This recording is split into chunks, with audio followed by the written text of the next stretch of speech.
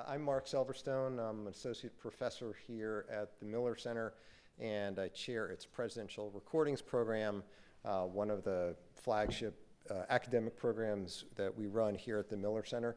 Miller Center, for those who don't know, uh, is an um, kind of an independent uh, think tank that's part of UVA. We struggle to actually figure out how to describe us. Are we a think tank? Are we a research center?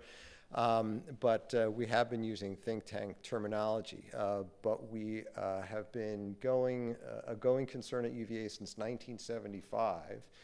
Uh, and we focus on politics, history, uh, and policy issues with a special emphasis on the presidency.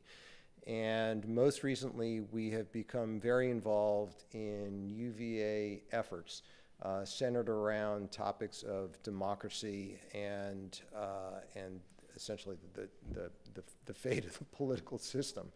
Um, this has been uh, a concern of UVA's for a while, but uh, several years ago, the university started a democracy initiative, and that uh, incorporated elements throughout the university, Miller Center among them, uh, and most recently, those have been rolled into a much more substantial and uh, longstanding Karsh Institute of Democracy, well-funded, uh, that draws from a lot of units at the university uh, focusing on the fate of democracy, not only uh, at home, but also abroad.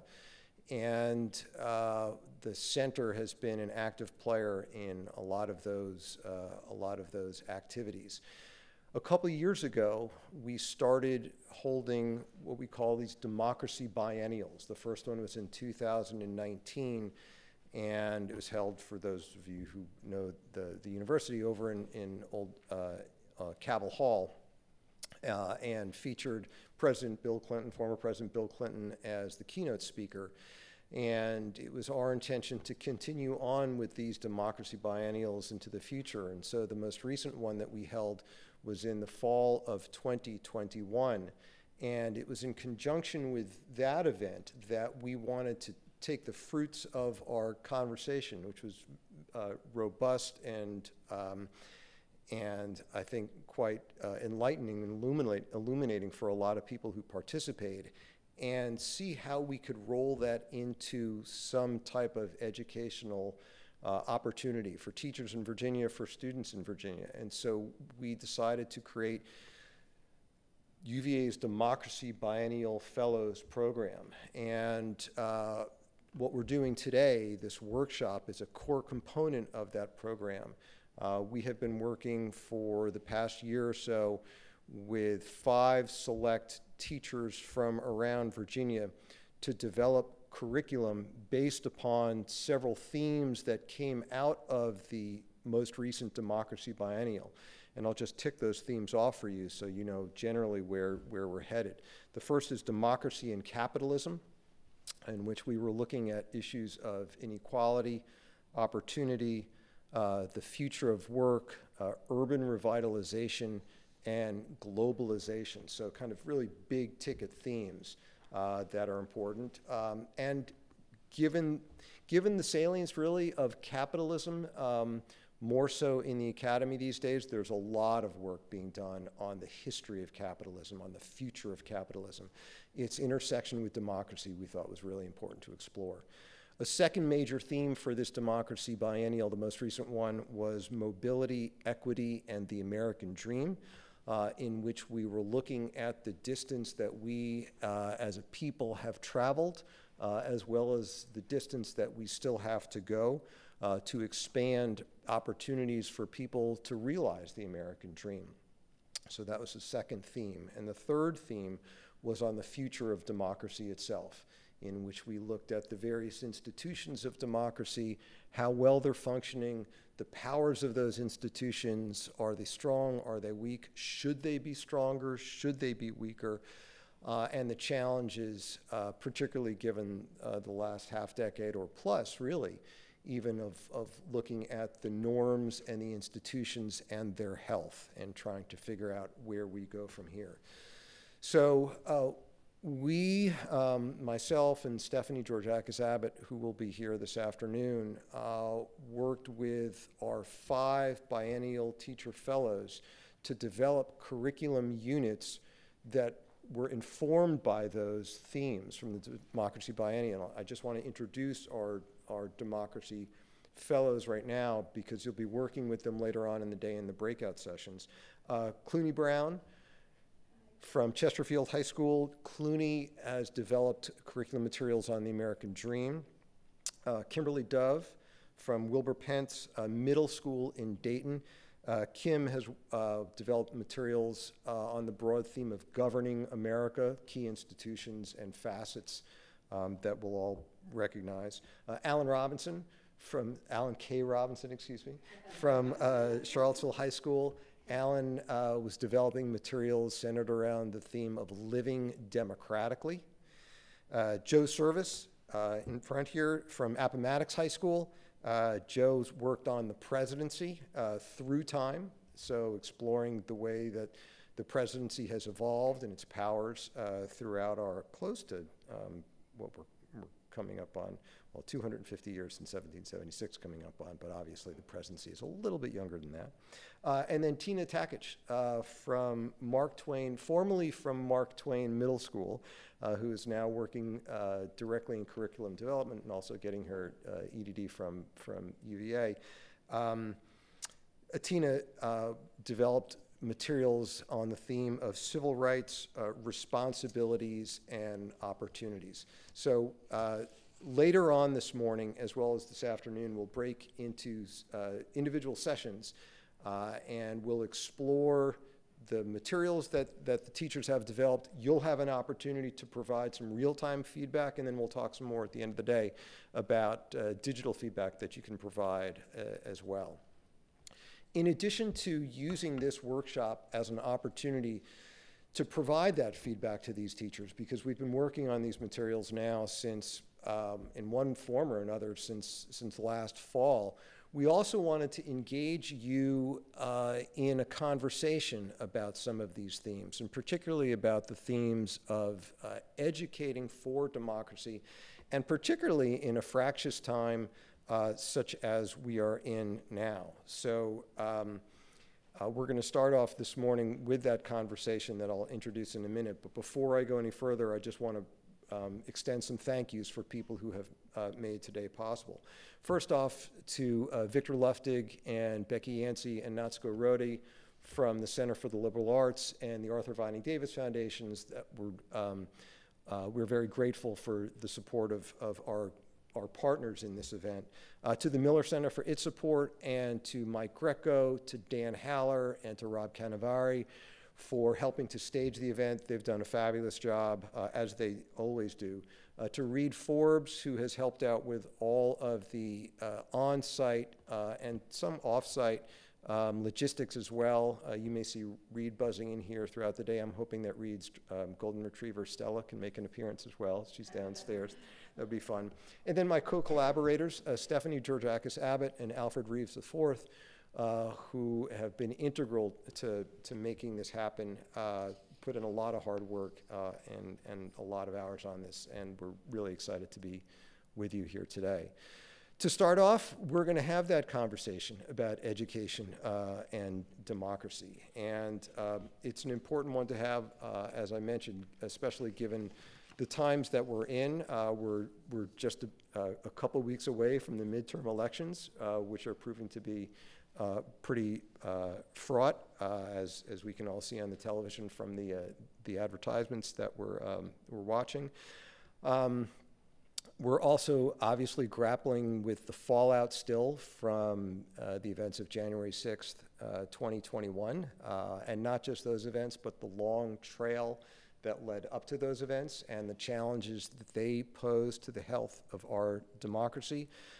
and here in Virginia, we saw that uh, issues surrounding race and history and politics were very much at the center of the most recent governor's race.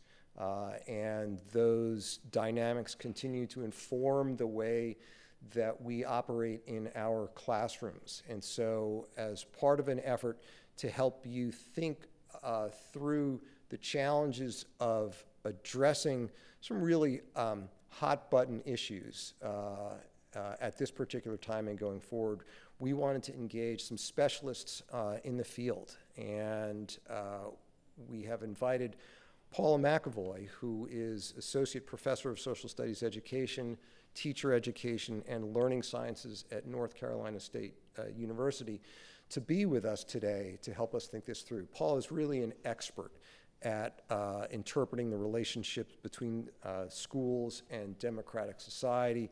Uh, she has written widely on this, particularly in her award-winning The Political Classroom, Evidence and Ethics in Democratic Education.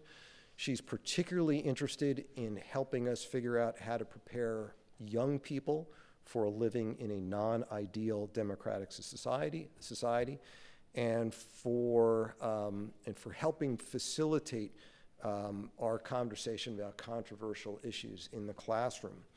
Uh, engaging Paula in conversation is Neely Minton, who uh, is social studies lead coach uh, for K-12 uh, in the Albemarle County Public School System, uh, having previously held a similar position in the Charlottesville City Public Schools.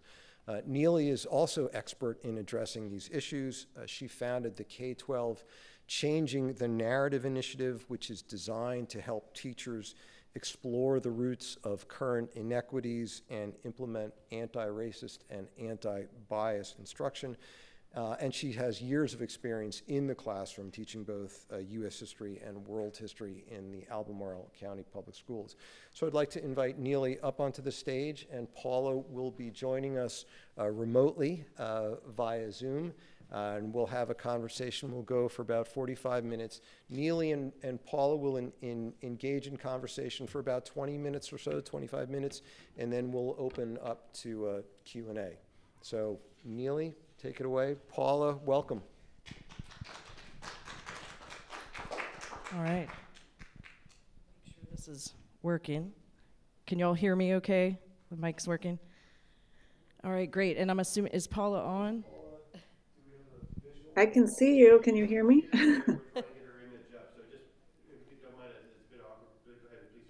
okay. Sure. All right. Well, thank you so much. I really appreciate it, Marc, uh, for you inviting me to this uh, event today. It's good to meet with all of you today and have this conversation. I'm really looking forward to seeing the curriculum um, and units that you all produce because I think that will benefit uh, students and teachers across our state. So thank you for your work um, through this fellowship. So I'm going to start off um, kind of broad with Dr. McAvoy. And Dr. McAvoy, it's good to see you um, in this conversation. But let's start just at the beginning a little bit. Um, Dr. Can see, mm -hmm. uh, do we have sound audio for uh, Paula before we start? We're going to check on that. Okay. Yeah, ask a question to the air. Well, if all else fails, we can have a conversation with yeah, sure folks here. So.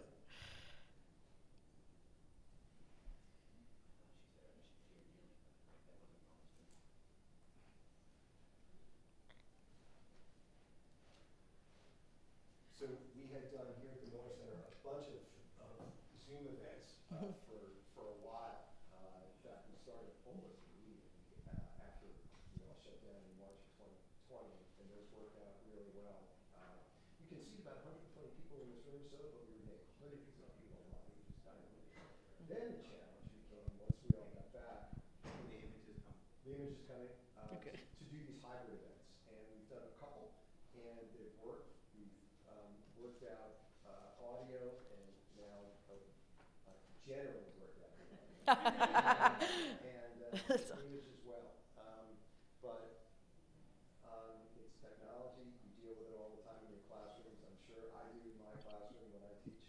Um, I'm thrilled to be back in person though uh, this summer after having taught uh, online for the last two. What a difference! I'm sure. I'm sure you're great. So. Um, I should mention that as we this is an output of the 2021 biennial. We are uh, presently at work on the 2023 biennial. Uh, and uh, these are held every fall, uh, and that's the presumption they're going to be held every fall uh, at, at the university.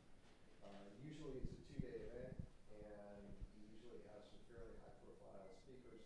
President Kennedy, I would think, is a fairly high-profile speaker. come in, uh, and we had uh, others, uh, cabinet officials uh, last time, uh, industry leaders as well, particularly for our conversation about uh, democracy and capitalism.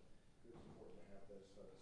Uh, and uh, I am not in the inner circle of planning for the next biennial, so I, I can't provide any sneak peeks of, uh, of who's showing up. Okay, okay. All right, so let's go. So we have audio. Okay, great. So let's, let's do that All right, and, and go with that. Have the audio conversation. No worries. We, Hey, everyone. We'll pretend like it's a radio show.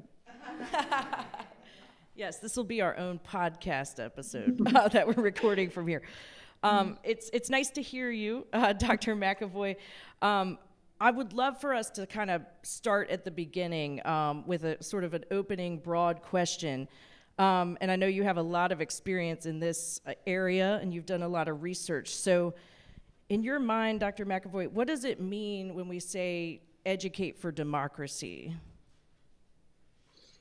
Yeah, thank you. And uh, good morning, everyone. And thank you for letting me be here and join you with you today. Um, educating for democracy, I think, involves kind of three main buckets of uh, it's the cultivation of the values, skills, and dispositions to participate in democratic life.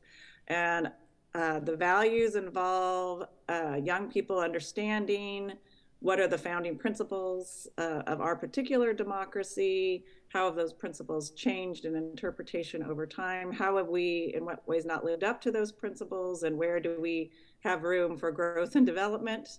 Um, and so it's a deep understanding of the history and the values uh, that that we're um, trying to promote within this particular society, and an understanding that it's, as I said, it's always in development. That we're not that democracy is not something stagnant, but something alive and changing. Um, and then, with related to that are um, particular skills. These involve um, everything from knowing how to vote, when to vote, um, how what your rights are as a citizen, and um, the ways in which you can engage from the local level on up to the federal level. Um, how to interpret news and information and make informed decisions, how to weigh evidence, give reasons, um, all of these sorts. Oh, here I am. Um, There you are. um, and then one area of my research is particularly on the skill of discussion. And so that one thing that democracies rely upon is that we can, you know, the very idea of democracy is the belief that people can work together to solve the issues that matter to them. And so that requires us to listen to one another, give reasons to one another, care about one another's position in the world. So it can't just be a self interested um, view of democracy that we need to think about how do we reason sort of in, in, in, at, at times for a collective good for the what, what is the well what is the well-being of the country um, versus just what's right for you as an individual.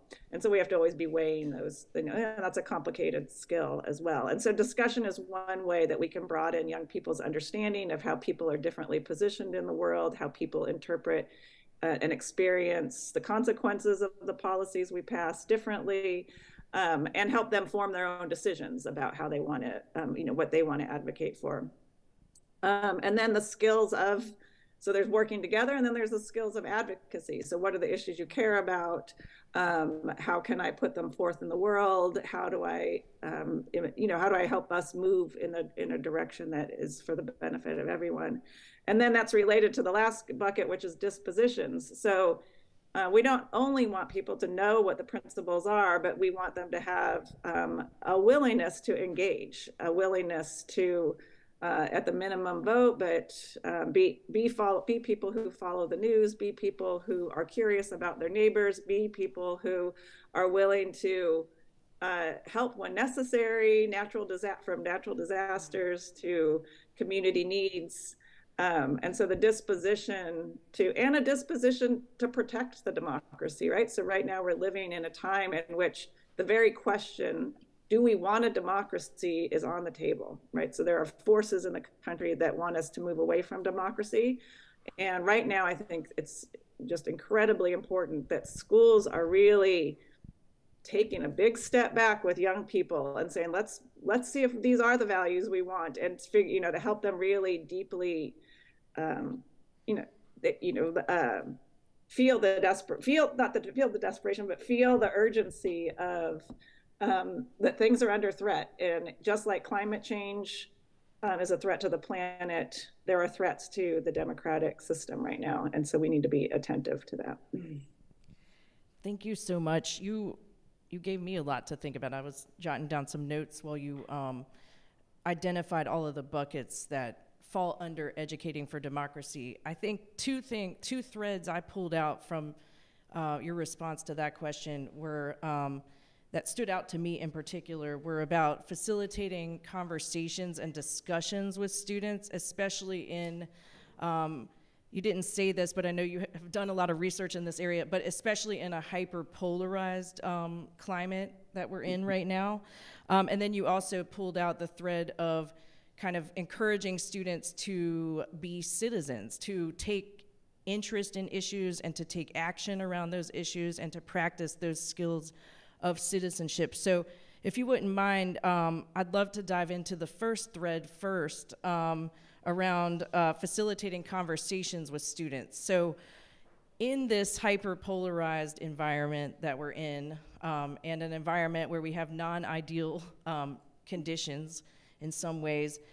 How can teachers um, how can teachers navigate that? How can they encourage students to learn from each other, to listen to viewpoints that are different than their own, and, and kind of just to navigate those conversations in the hyper polarized environment that we're in? Yeah. Yeah, this is hard. It's obviously hard and getting harder, right? So that we, um, there's a lot of pressure on schools right now to avoid controversial issues or avoid political issues. Um, and I, you know, I feel strongly that uh, if schools move in this direction and if teachers follow the push, that you're actually contributing to the demise of democracy. So we need to make sure that we are committing to uh, holding the line that it is the reason schools were created was to help support and maintain a democracy. And so we need to um, hold on to that.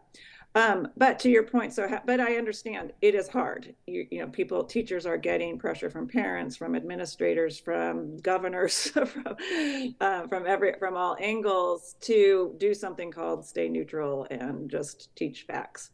Um, but I think that clarifying so one uh, important starting point for the question how should we engage students in discussions of political issues is to get clarity on what discussion is. And a lot of people use the term discussion to just mean uh, included in the curriculum so in my class, we're, we're in the next semester, we're discussing World War II, uh, the Cold War, blah, blah, blah.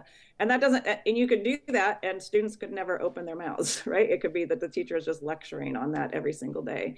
So discussion, I want to just clarify, is not include in the curriculum. It's, I don't mean that when I say discussion. When I say discussion, I mean a more student-centered approach to discussing issues in which the teacher is structuring activities in which then giving students materials and preparation so that they are actually discussing with one another.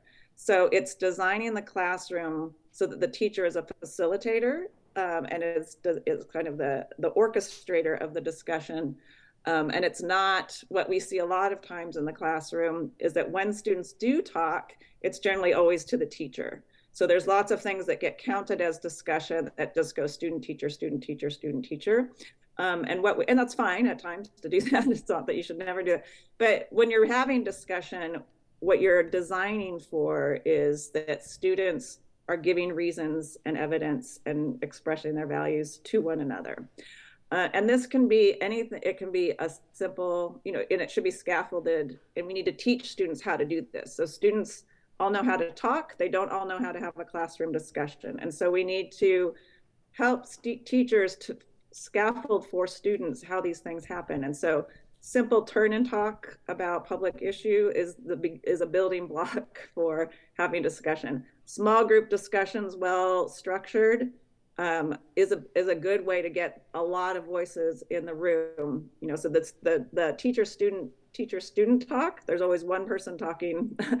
uh, you get a, a, vibrant small group discussion. You've got lots of voices getting to talk at the same time, and there's and then you can move towards whole class. And I think a lot of people think the good discussion or the ideal discussion is some magical whole class seminar style discussion in which everyone's listening and working together and you know these happen in uh, liberal arts colleges and freshman seminars but they're they're hard to pull off in a classroom. They certainly can be pulled off in a classroom but you have to teach students to to get there.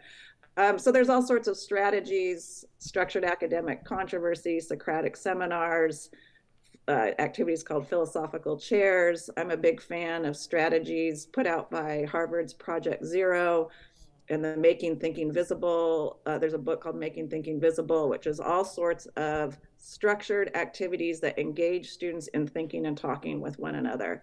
Um, and so I think what one thing that the field of civic education needs to do is really help prepare teachers to use these strategies um, because what a lot of teachers when they they avoid discussion because they're worried that things are going to go off the rails. Someone's going to say something i don't know how to respond. This is like it's going to go out of it's going to get out of control.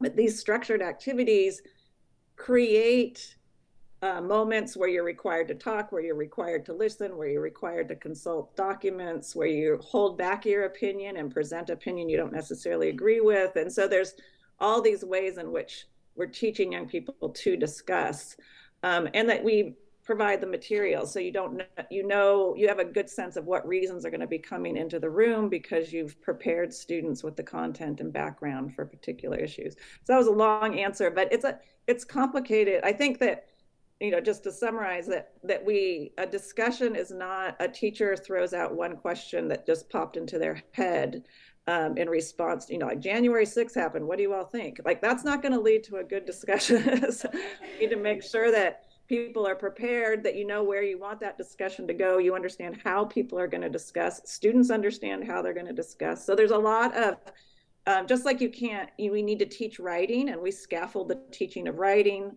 Uh, you need to scaffold the, the creation of discussion as well.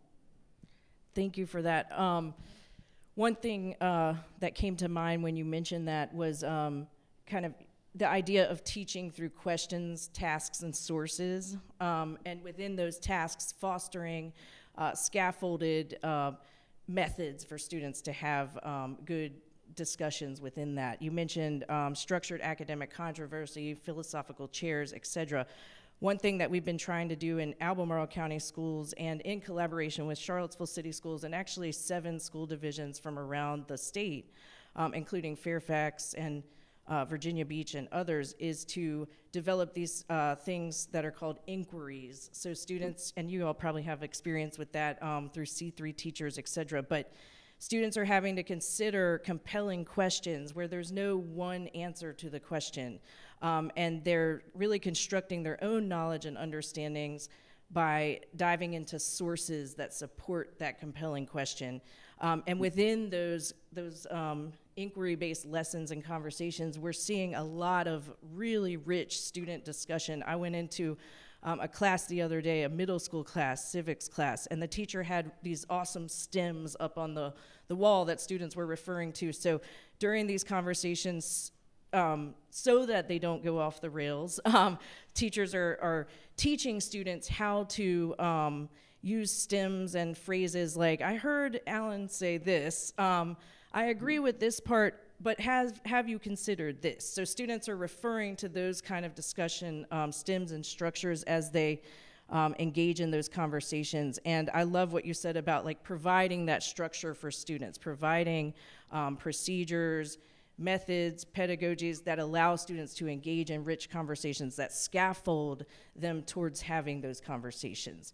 You did mention um, you know that there's a lot of fear that conversations like that will go off the rails and sometimes they do. Um, what's your uh, advice for teachers for when those moments do happen? What if the conversation does go off the rails? How can teachers respond to that in the moment with students yeah i mean these are hard it so much depends on what that what went off the rails did someone say something just deeply offensive that violated the classroom norms did someone say something that was not offensive, but nevertheless caused hurt. Um, you know, so uh, imagine uh, someone making a strong statement against um, immigrants being in the country um, while there are first generation students in the classroom, right? So it's you can't you can have your opinion about immigration, but you nevertheless can hurt someone who feel you know who is an immigrant, and so these are uh, tough moments. And, you know, so um, one thing that I, I'll just repeat that, that the structures often provide a, a, little, they provide structure for the teacher also. So it kind of helps. There, there are norms embedded within these structures. Nevertheless, I think a lot of teachers want to imagine I can, I can pick the question and design the strategy and design the activity in such a way that no one's feeling is going to get hurt and it's never going to go sideways. And that's, I think you just have to let go of that wish and say, that's, I'm not going to think about that way. What I'm going to think about it is, I'm going to do my best to imagine what might happen that I wouldn't know what to do with. What what view might come in um, that that I don't want in this clutter that we need to unpack or challenge. Um, and so have some, you know, I play out scenarios in my head whenever I'm designing materials for discussion. Um, and then you can so so I can think in advance. Okay, so how might I design the materials or the background preparation so that we sort of channel that uh, sort of what might be an offensive view, or we think help students think in advance. How do you keep in mind who you're talking to? Um, and then being able to have the norms and the and, and the structures within your classroom so that if someone says something and it's starting to get too heated you can sort of stop and say let's remind ourselves um, about what we agreed to right now. And then you can do things also it's not easy these moments and sometimes you need a moment to think. Um, and so it's perfectly fine to say, you know what, um, I'd like us all to like do it, like if you're in a kind of a larger group and say, let's all do a turn and talk right now on, and about this particular issue and kind of redirect the conversation and turn it back so that everyone can kind of process for a second and you can process for a second and then come back. And then in the political classroom, um, I thought this teacher that had a really nice moment, uh, Mr. Kushner, that we describe, who was having a discussion about affirmative action with high school seniors in a non-tracked classroom, and so there was it was there was some um, racial and ethnic diversity in the room, and that it, it did start going sideways. It started turning into the white students talking about us and those students and it just didn't quite sit right. And and and a student was being was visibly being emotionally an african american student emotionally affected. Um, and so it was the last you know we, there were 10 more minutes left in class and he made the smart decision to say okay we're going to stop the discussion there. He didn't call attention to the student that he noticed that was feeling uncomfortable. Let's write and just gave them let's 10 minutes to write out where your thinking is on this question right now. And so sort of created in the moment an exit ticket kind of uh, approach to that discussion. Then found that student later in the day checked in with her and then opened the next day with i want to tell you what i noticed in this discussion yesterday and i want us to talk about why this was hurtful and why we need to watch the way we say things um, when we're talking about issues of race. And I, you know, one thing I, when I was a student teacher, my cooperating teacher once said to me, you know, um, teaching's like being a baseball player. So some days you hit a single, some days you hit a home run, and sometimes you strike out. And but the beauty of this job is that you're at bat the next day, and so you can always recover. You know, you always have a, another moment to sort of process and address something that that maybe had been hurtful or what you know in some ways had had a an issue that you want to discuss. And in fact, talking about discussion itself is a great way to improve discussion in the classroom and to say, so was this a good discussion? What should we work on next time? How can we uh, be more attentive to each other in the next discussion and sort of help students um, see see you know become better at this skill.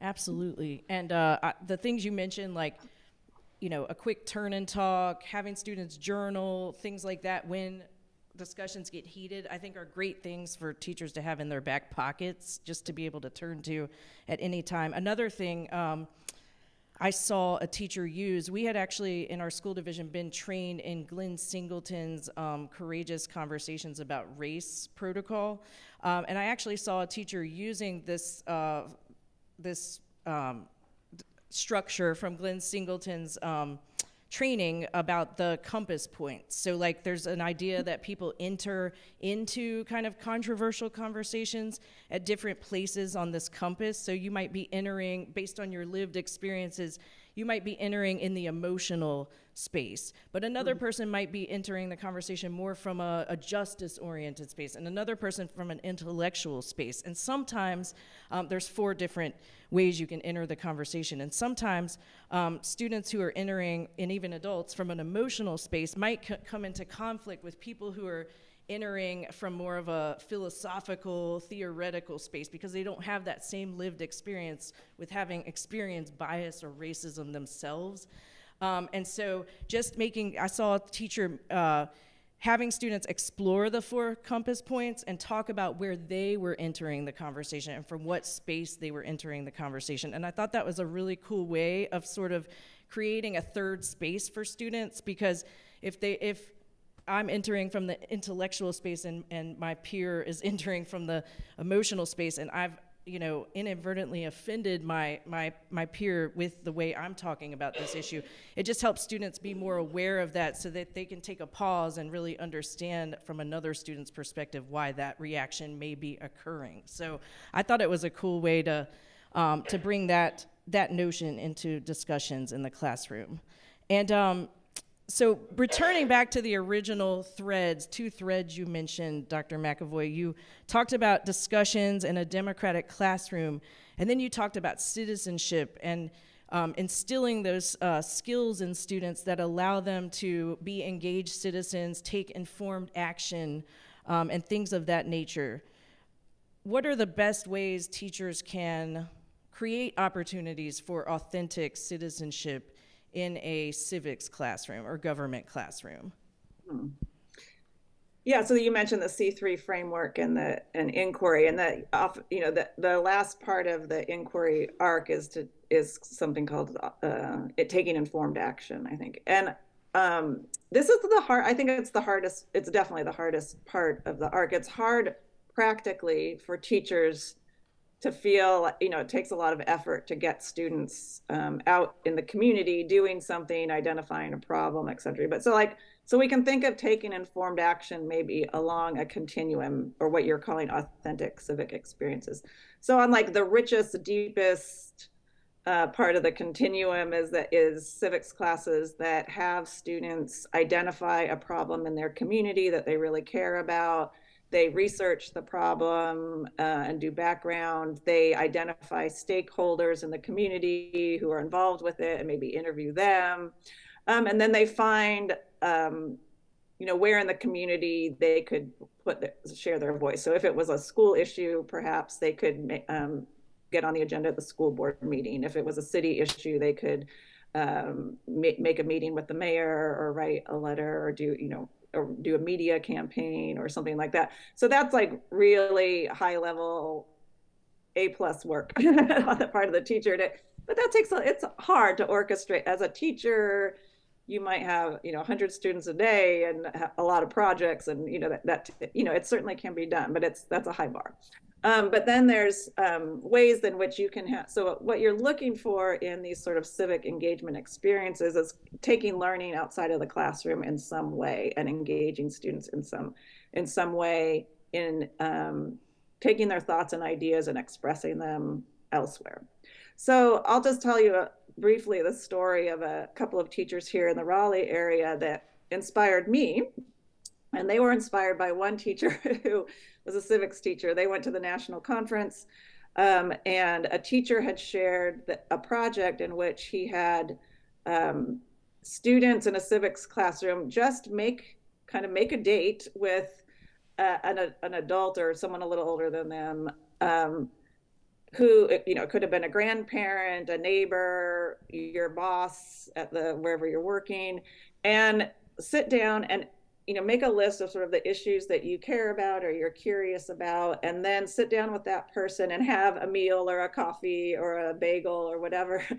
Um, and talk and just have a have a real conversation with somebody outside of your classroom about the issues you care about. Listen to what they have to say how do they interpret them blah, blah, blah, and then they write and then they had to like come back and share the experience with the class and he called that i think dinner that was the dinner with democracy was the idea. Um, and so uh, two teachers that i know heard about that and they were both middle school teachers and they said oh we we can we can take this idea and run with it. And so they had their classes uh, create dinner with democracy as a school event. And so they invited parents and community and the and the and the students to have an evening like in the multi-purpose room at the school. They brought potlucks. Uh, the students had designed a series of questions that they cared about. Um, and then they, you would sit at a table. I went to the event one year. You sit at a table with parents and young people, middle schoolers, their family, and whatever. Uh, and there would be, you know, you'd have 15 minutes of conversation at the table, and they had like a table, a conversation starter about a political issue. Then you would go have go back to the buffet and come back to sit at a new table and you would talk again. So there were about three rounds of um, conversation. And it was nice for parents and students to have this sort of structured ability to talk about some political issues. And I think parents learned that young people are curious and interested in these things and that they have opinions and ideas. And young people learned that adults can listen to them, are interested in what they have to say. And it was nice. It was a nice event. So we at North Carolina State have taken that and it's become a regular part of my social studies methods class now is that, and it's happening this coming Thursday, we called it uh, Dining with Democracy, where we have a big campus wide public event on camp um, in which my students facilitate um, small group, small table conversations around a couple of political issues. Um, so we kind of launch the issue at the event, and then they, the people are in 30 minutes of conversation, and we launch a new issue in 30 minutes of conversation. So this is all this to say, like, there's ways that one just simple thing that you can do is have students talk to people outside of their classroom um, and and practice that and in a way that's about genuine listening and trying to understand one another. And so it's not go debate some go debate your cousin or your bot but it's how do you just try to understand their perspective. Um, and these sorts of things are kind of magical honestly. Like people you don't they off so many people don't get asked their opinion. They don't get a chance to sort of feel heard and and and engage in in an authentic way with others. And i think you know this is a huge problem in the united states right now is how much animosity we feel towards people who disagree with us. And what you learn when you talk is that people are not that far apart um, and they want they do actually want to live happily with their with their neighbors. And um, and so I think this is just, you know, it's a simple way. You could do that within a school community and just have students and the 12th graders talking to the ninth graders, or, you know, like there's just uh, a lot of ways you can make uh, that these sort of are community building moments for young people. That's great. It reminds me of what uh, UVA is uh, doing with One Small Step. Um, there's a One Small Step program that they're doing with StoryCorps, where you get mm. people together who ha- are from different ends of the political spectrum around issues and just have them have a conversation.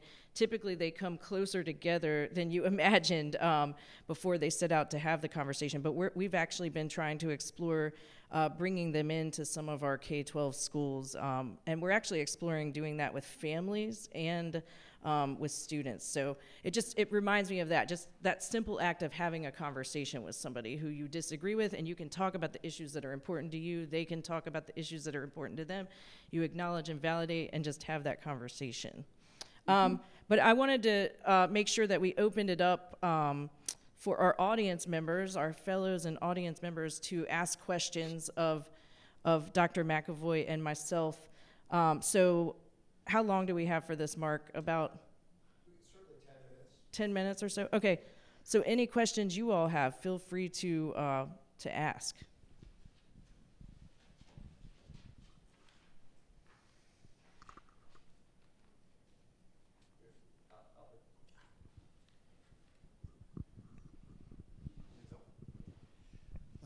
Any advice for trying to overcome uh, with students their the preponderance of bad examples of how to have a discussion that they've seen in the media, you know, watching cable television news or and I guess also like if you know I was kind of was amused, uh, chuckled a bit when you were talking about the, the meals thing, which I thought was a, a brilliant idea, but then I'm thinking of the stereotypical uncle at Thanksgiving.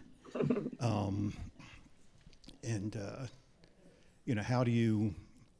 Because you know, the, the students are often bombarded with you know these what passes as political media, where it's just where shouting someone down is considered victory in the the so, called discourse. How do you? It, it's swimming. You know what you're. I think what you're suggesting is great and we need to do it, but it is going to be swimming against the stream, I think, in yes. a lot of ways.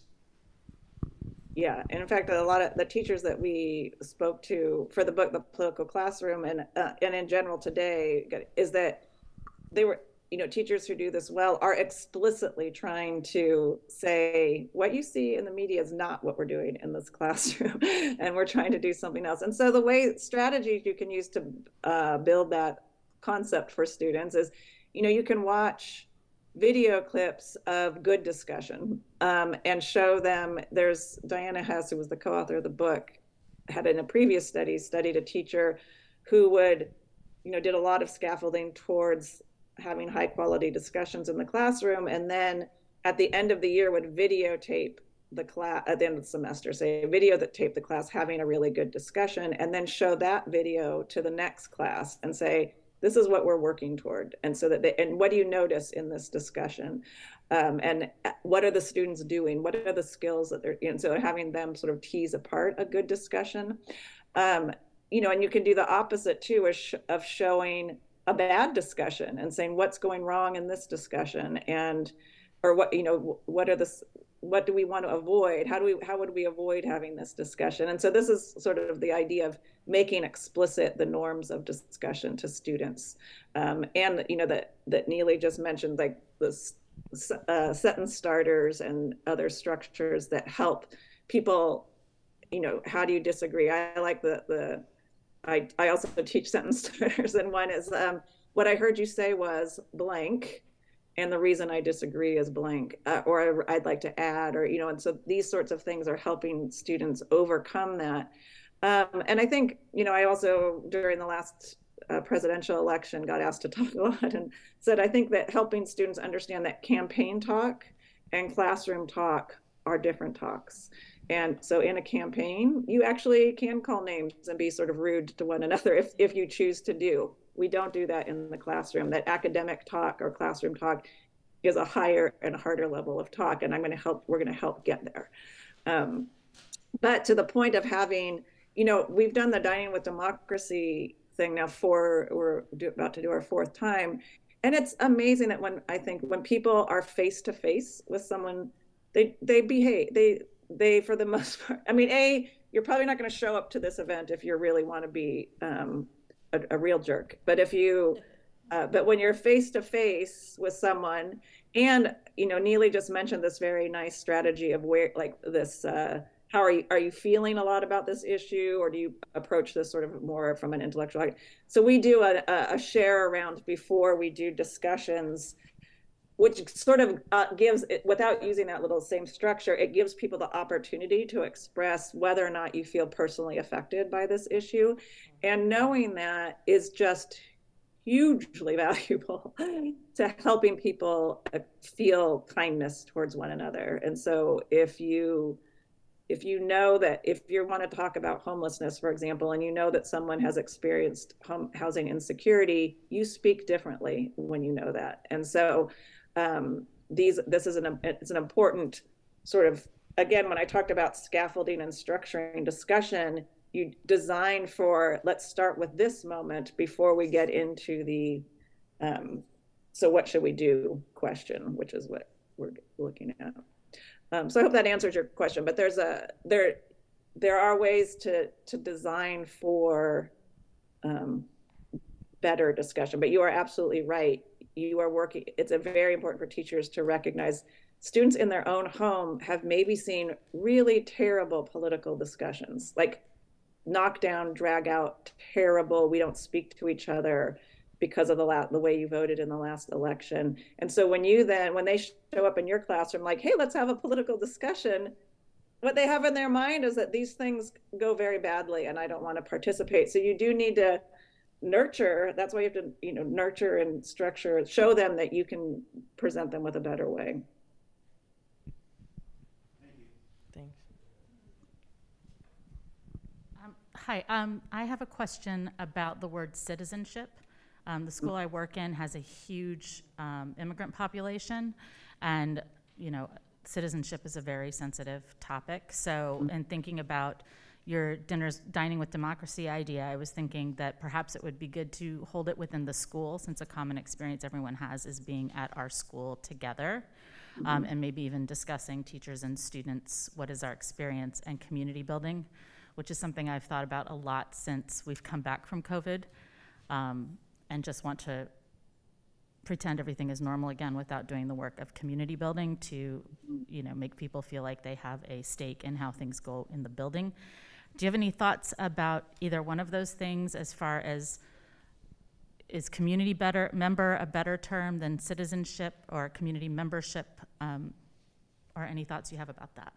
Yeah, that, I, I tend to I tend to talk about democratic education, not citizenship education, or political education, not citizenship education. And you know, for those reasons that regardless of your immigration status, you are a community member in and and policies affect you. And so these are the and discussion is a way to so that students can hear from one another how they're differently affected by policy. I think if you have a sort of multinational school community, what a great opportunity to have people not maybe put immigration on the table directly, you know, um, but to you know to a question like um, you know that's maybe more gets through I'm, i'll just i haven't quite thought this one through yet but like let's say should the united states increase its refugee numbers or something like that um, but opening then with a share out question of